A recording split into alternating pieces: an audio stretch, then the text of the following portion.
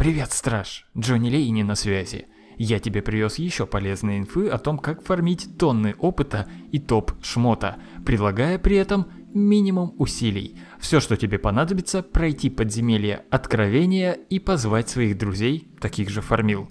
В чем суть чиза? Когда вы дойдете до стадии урона по боссу и добьете его, в этот же момент, то есть между смертью босса, пока его туша падает, и до того, как вас перенесло к сундуку около головы посланницы, одному из вас следует быстро выйти из игры на экран смены персонажа. К сожалению, я забыл записать этот момент. После чего на этом вашем персонаже появится сейф, который заведет вас напрямую на локацию с наградой – Снова заходите на этого же персонажа, ваши приятели цепляются на вас, вы вырубаете подземелье и на подлете снова вылетаете через смену персонажа.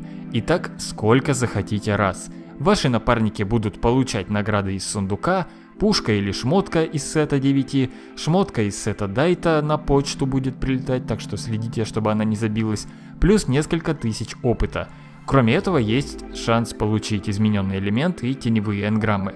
Но важный момент. Вы, как человек, который завозит команду к сундуку, не будете получать никакой награды. Поэтому я бы рекомендовал всем членам вашей группы взять сейвы на боссе для того, чтобы по очереди завозить друг друга.